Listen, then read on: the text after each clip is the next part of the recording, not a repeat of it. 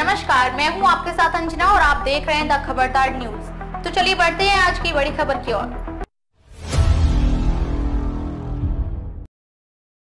Jain sir, मैं constable driver Akshar Singh, दो सौ चवालीस बटालियन सीआरपीएफ से हूँ और मैं हिमाचल प्रदेश का रहने वाला हूँ।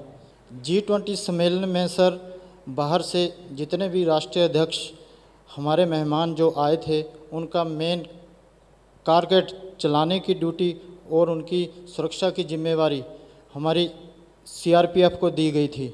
इसके चलते हमें स्पेशल दो महीने की ट्रेनिंग ग्रेटर नोएडा में कराई गई। ट्रेनिंग के दौरान हमें बाईं तरफ़ स्टेयरिंग वाली गाड़ियों को चलाना तथा उनके फीचर के बारे में सिखा, सिखाया गया।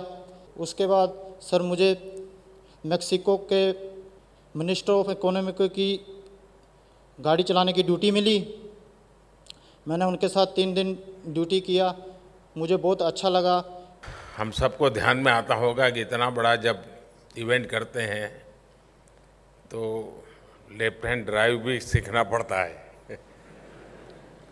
यानी प्लानिंग में कितनी बारीकियों की ज़रूरत पड़ती है इसका इसके अंदाज मिल सकता है आपको।